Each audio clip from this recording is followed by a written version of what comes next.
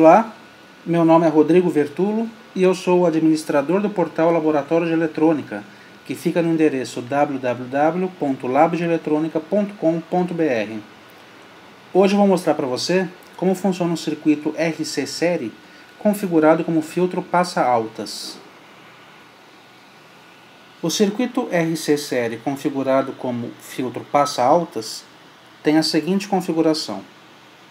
Temos uma fonte de tensão variada ligada a um capacitor em série com um resistor. A fonte de tensão variada eu chamarei de VI, o capacitor de C e o resistor de R. O nosso objetivo é analisarmos o circuito para identificarmos qual é o valor da tensão VO na saída do circuito, que é a tensão que cai sobre o resistor R. Uma característica do, importante do filtro passa altas é que para frequências altas nós temos a tensão VO de saída tendendo ao valor da tensão VI de entrada. E para tensão e para frequências baixas, nós temos a tensão VO de saída tendendo a zero. Em outras palavras, quanto maior for a frequência do nosso gerador, mais a tensão VO tenderá ao valor da tensão VI. Por outro lado, quanto menor for a frequência do nosso gerador, mais a tensão VO tenderá a zero. Nós podemos expressar essas relações dizendo que a relação entre a tensão de saída e a tensão de entrada num circuito do tipo filtro passa altas será sempre maior que zero, maior ou igual a zero, e menor ou igual a 1. E a essa relação VO sobre VI, nós damos o nome de ganho do circuito.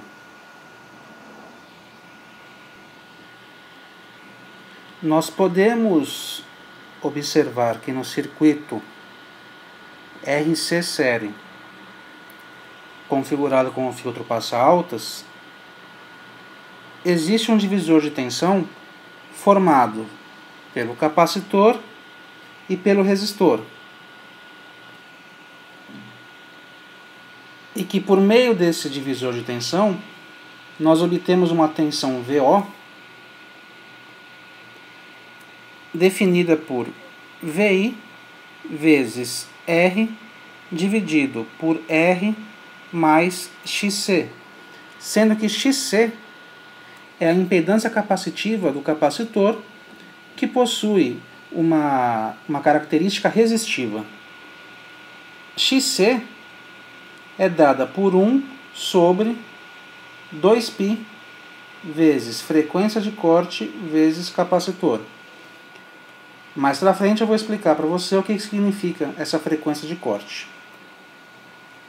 A partir disso, podemos reescrever a expressão para VO como VO igual a VI vezes R dividido por R mais 1 sobre 2π frequência de corte C. Reescrevendo essa expressão em termos do ganho do circuito, VO sobre VI é igual a R dividido por R mais 1 sobre 2π vezes frequência de corte vezes capacitor. Podemos observar, por essa expressão, que quando a frequência de corte tende a zero, ou seja, frequências muito baixas, nós, nós temos que R dividido por R mais 1 sobre 2π vezes zero vezes C gera um valor igual a zero. Note que quando essa expressão dá zero, ou seja, 2π vezes zero vezes C será zero, nós temos que 1 dividido por um número tendendo a zero dá um número muito grande, próximo a infinito. Infinito mais R é infinito. E R dividido por infinito Ou seja, qualquer número dividido por um número infinitamente grande é igual a zero. Sendo assim, o ganho do circuito VO sobre VI para frequências baixas tende a zero, fazendo com que o circuito passe a altas rejeite frequências baixas. Por outro lado, se a frequência de corte FC for alta, tendendo a infinito, nós temos que R dividido por R mais 1 sobre 2π vezes infinito vezes C é igual a 1. Note que quando essa expressão é multiplicada por infinito, gera um número infinito, um número muito alto. 1 dividido por um número muito alto é zero. Ou seja, qualquer número dividido por um número infinitamente grande é zero. 0 mais r é r. E r dividido por r é 1. Sendo assim,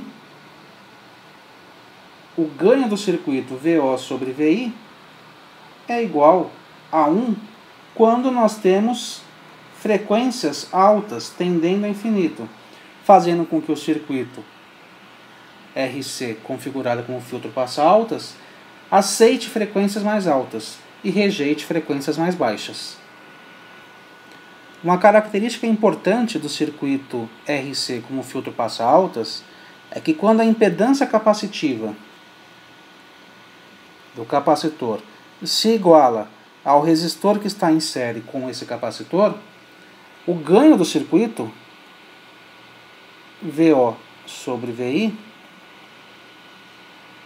é de 0,707, que é aproximadamente de 71%. Expressando isso em forma de gráfico, em que o eixo vertical é a tensão de entrada e o eixo horizontal é a frequência do gerador, nós temos uma curva semelhante a essa. E nesse ponto,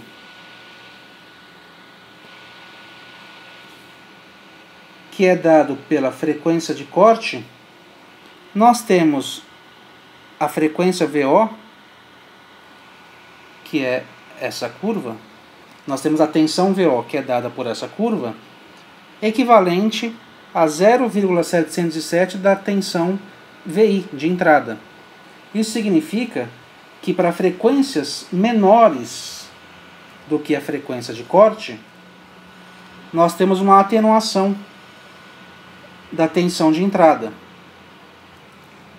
E para frequências maiores do que a frequência de corte, nós temos a tensão de saída VO próxima à tensão de entrada VI. Anteriormente eu disse para vocês que para tensões, para frequências pequenas, nós temos tensões de saída tendendo a zero, é o que está acontecendo aqui.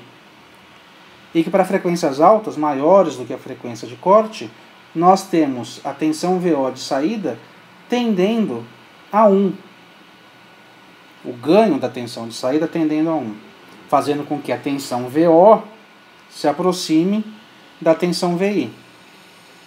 Resumindo, frequências baixas, menores que a frequência de corte, geram ganhos cada vez mais próximos de zero, fazendo com que a tensão VO de saída se aproxime de zero.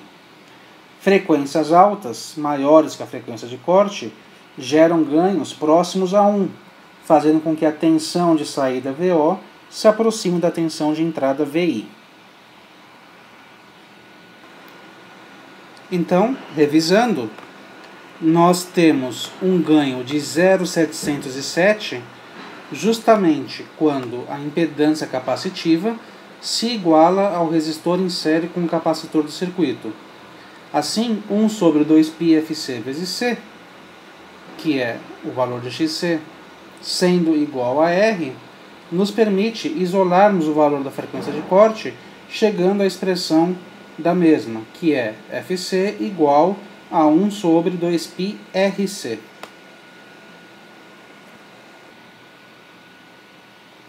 Vamos exemplificar tudo o que eu falei resolvendo um exercício.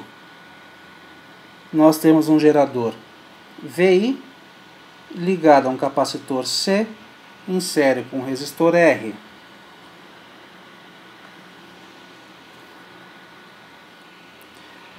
O resistor R tem o um valor de 1 k ohm. O que nós queremos é descobrir qual que é o valor do capacitor para uma frequência de corte de 3.000 Hz, que fará com que o ganho do circuito seja de 0,707. Um ponto importante que eu esqueci de comentar aqui é que esse valor 0,707 ele é muito importante nos circuitos de filtro, porque é a partir dele que nós temos uma atenuação intensificada. Para valores maiores do que 0,707, o ganho vai aumentando, chegando próximo a 1. E quando chegamos nesse ponto, nessa frequência de corte, a atenuação do circuito se intensifica, fazendo com que haja uma queda brusca do ganho do circuito. Então isso é muito importante, por isso que esse valor 0,707 é importante. O que nós queremos descobrir no exercício é qual é a frequência de corte que nós devemos ter nesse circuito apresentado para que nós consigamos, para que nós tenhamos esse ganho de 0,707 e saibamos que para frequências menores do que 3.000 Hz, nós teremos uma grande atenuação desse ganho, e para frequências maiores do que 3.000 Hz, nós teremos um ganho próximo a 1. Nós queremos encontrar o valor do capacitor que podemos colocar nesse circuito para respeitarmos essas restrições. Nós vimos anteriormente que a frequência de corte pode ser calculada por Fc igual a 1 sobre 2π RC. Podemos isolar o capacitor nessa expressão, fazendo com que C seja igual a 1 sobre 2π FC vezes C. Substituindo os valores, C é igual a 1 sobre 2π vezes 3.000 vezes 1.000. Cometi um erro aqui, Deixa eu corrigir. Aqui ao invés de 1 sobre 2π FC, é 1 sobre 2π, ao invés de 1 sobre 2π FC vezes C, é 1 sobre 2π FC vezes R. Então é 1 sobre 2π FC vezes R. Isso nos dá um capacitor de aproximadamente 53 nanofarads. Então, se nós colocarmos um capacitor com esse valor no circuito, a nossa frequência de corte será de 3.000 Hz, fazendo com que nesse ponto exato nós tenhamos uma atenuação de 0,707. Frequências maiores do que 3.000 Hz terão um ganho próximo a 1 e frequências menores do que 3.000 Hz serão atenuadas, tendendo a zero. Então é isso aí, espero que você tenha gostado.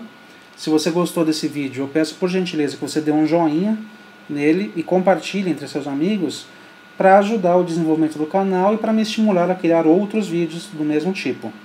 Agradeço muito a sua audiência, um grande abraço e até mais.